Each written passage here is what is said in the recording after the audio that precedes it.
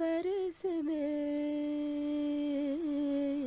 हाँ चमके गरजे बरसे For me, Kathak is a perfect art form. Nothing else exists. It is an embodiment of both Hindu and Muslim culture. It is one of the most intense and passionate forms of expression.